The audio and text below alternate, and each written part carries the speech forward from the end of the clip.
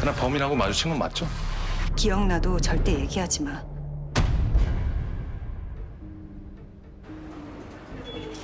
소아야. 아빠는 걱정되니까. 여기 파리빌이거든요. 치안 하나 확실하다고 아빠가 우겨서 이사 온 곳. 딸을 찾고 있나? 당신 누구야? 정확히 24시간이야. 그 안에 살인마를 찾지 못하면 네 딸은 죽어.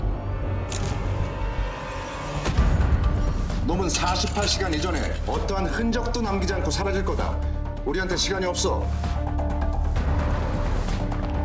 니들은 나 못 잡는다니까. 여구나. 그래 원하면 보여줄게. 내가 얼마나 우월한지. 결국 모든 걸 잃게 되는 건 네가 될 테니까. 겨우 그것 때문에 또 사람을 죽였단 말이야? 혹시 알아요? 당신이 그 소중한 가족을 지킬 수 있게 될지.